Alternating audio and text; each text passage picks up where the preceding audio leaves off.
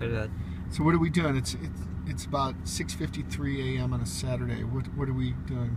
Um, we're getting ready for the Excellence in Mathematics competition Where is it going to be? in Phoenix. Um, And how many are you, are you going with other classmates or schoolmates? um, yeah.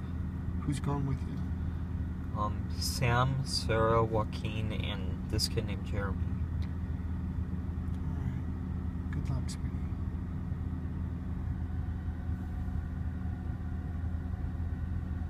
What are you reading?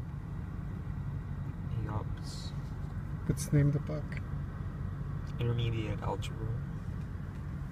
Any any specific part of it?